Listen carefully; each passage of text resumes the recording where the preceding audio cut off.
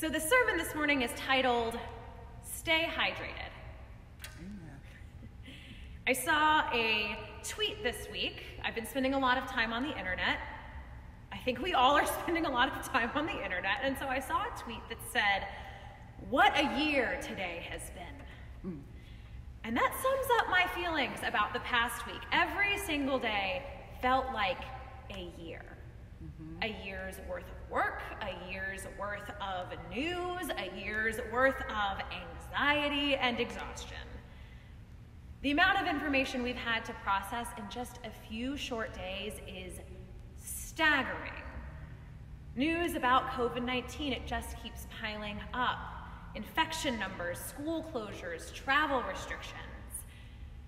It is natural to feel overwhelmed by this onslaught. If you take nothing else away from this morning, know that you are allowed to feel however you are feeling.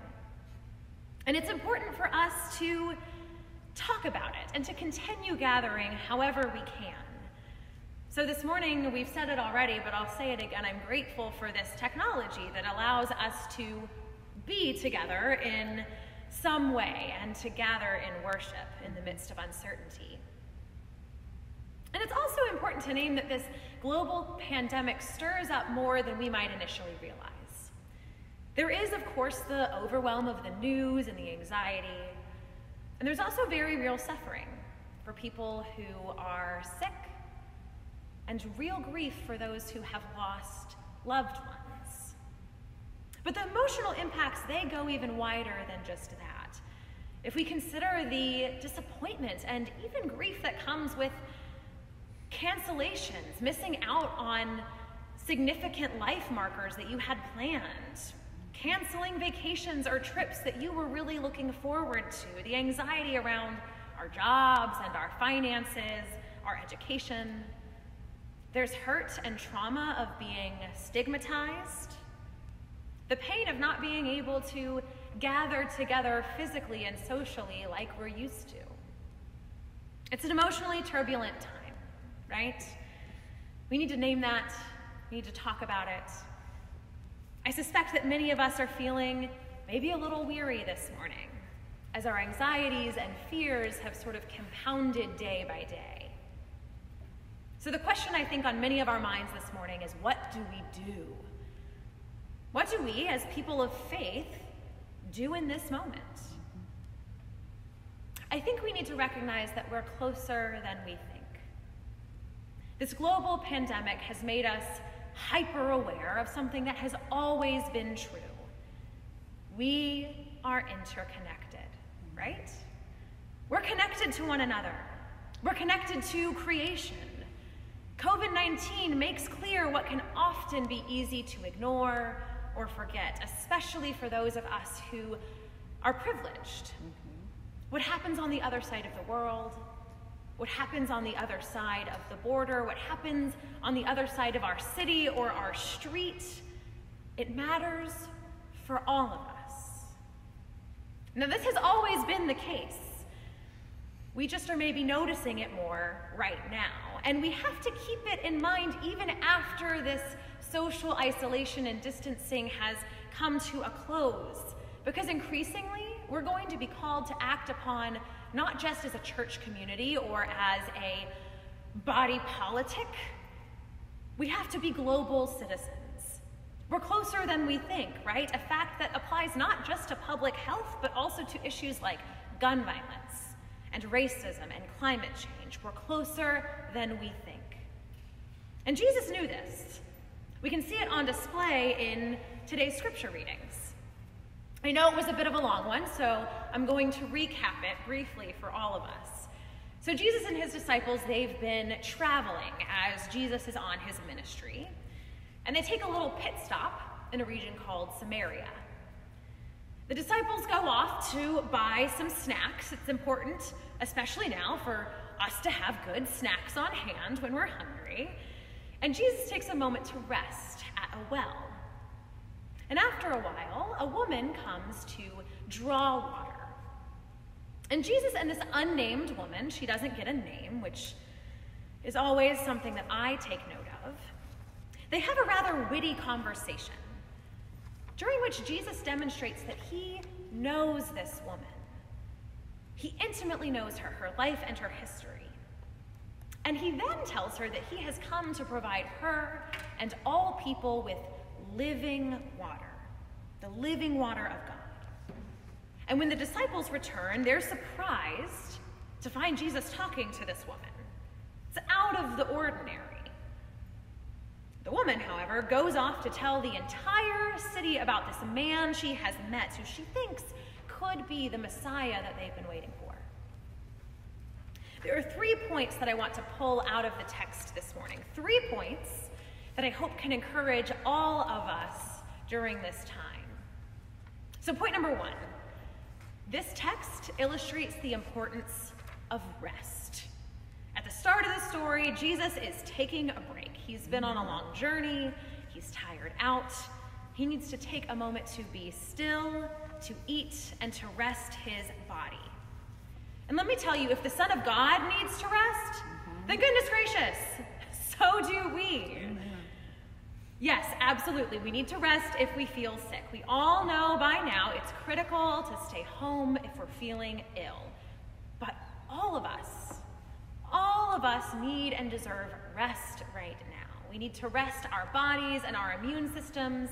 We need to keep one another healthy. But also, we need rest just for our minds and our weary spirits. So, what would Jesus do, right? Remember those bracelets? Let Jesus be your guide. It is good to take breaks if and when you can. Go for a walk to get some fresh air. Put limits on the amount of time you spend scrolling through Twitter and news sites. Pull out a puzzle or a board game and turn your attention to that for a little while. Pray, meditate. We all need rest in order to keep going. Point number two the scripture demonstrates that we're called to connect rather than retreat, especially when it comes to the most vulnerable. We need to connect virtually, right? Connect virtually in love rather than retreat in fear. It's hard for us to grasp the full transgressive nature of what Jesus is doing in this text, of the interaction between Jesus and the Samaritan woman. But trust me, this conversation, it's against the norm.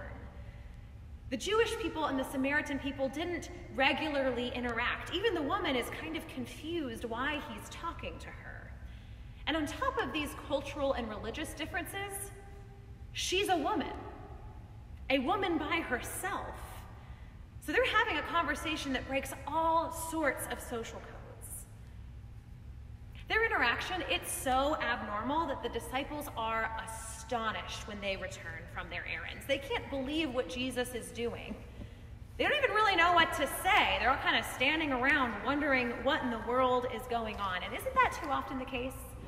That the people who call themselves followers of Christ are the ones who are missing the point of what Jesus is doing? In this moment, Jesus is reaching across boundaries and across stigma. Y'all know that's a theme in the gospel, right? Jesus is constantly involving himself with the vulnerable, talking to the people that society least expects, talking to the people who even his followers least expect. And look what comes out of the conversation. This woman, she goes on to preach. She goes on to tell her entire town about this man, Jesus, who she's met. This one unnamed sassy woman. I don't know if you noticed in the text, but she's going back and forth with Jesus. She's pretty sassy. I love that.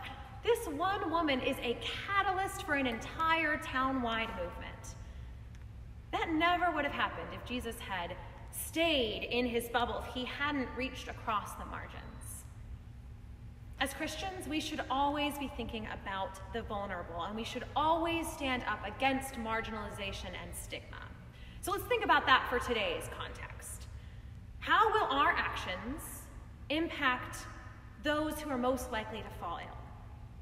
How are we reaching out to those people in our communities? How are we accounting for those who don't have stable housing or medical care? How are we treating our siblings of Asian heritage and descent?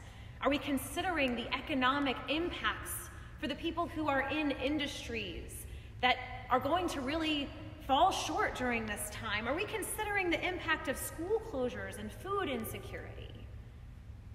I don't ask all these questions to overwhelm us. I just want to remind us that we have to be thinking of ourselves as partners in this, not as enemies. Jesus forms a partnership with the woman at the well, a partnership where there might have been animosity or ignorance. In times of crisis, it is really easy to start blaming people, scapegoating. And in fact, we know that that is happening now. So, what will we do as Christians to respond in ways that connect in love rather than retreat in fear? Here are just a few ideas. If you aren't medically vulnerable, see if people in your community need help getting groceries and supplies. Donate money to local food justice programs that are working to keep people fed. Speak up when you hear anti Chinese or anti Asian rhetoric. Support local businesses that are hurting. Call your fellow church members. Pray for one another. Finally, point number three stay hydrated. This scripture centers around water, a meeting at a well. Water is necessary for life. And again, to take care of our bodies, we need to stay hydrated and drink a lot of fluids. But we also have to stay hydrated through the living water of Christ. Jesus says that if we drink this water, we'll never be thirsty again. Our souls will be satisfied. If we come to his well, it will never run dry.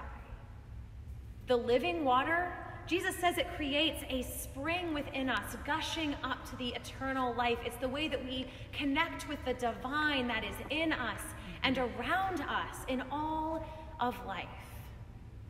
The living water of God, it's present to us in all times. But it's perhaps most palpably needed in moments like this. So come drink this water. Come sit by this well. Be reminded that yes, things are different and maybe a little scary, but yes, God is present. God has walked with God's people through uncertainty time and time again. The Holy Spirit flows in our midst. And Jesus sits by that well to welcome us, each and every one of us. So this morning, drink deeply. Be still. Know that God, the great I am, is with us always. Amen. Amen.